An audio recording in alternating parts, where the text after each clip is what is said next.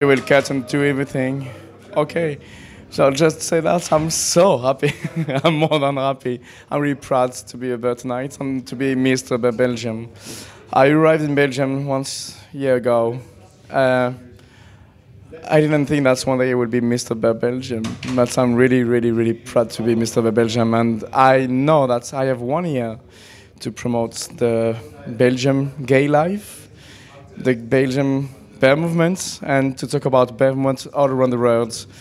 Uh, I'm really proud because all my friends from all around the world, from Seattle, Dublin, Venezuela, they came tonight just, just for the election. Uh, I'm just thinking that in Brussels and Belgium, we are the center of the world. We're the center of, the, of Europe, and we can work a lot to give more freedom for the gay people in the world, to give more rights to the gay people in the world. We can do more prevention for sexual uh, sickness, for everything. We can talk.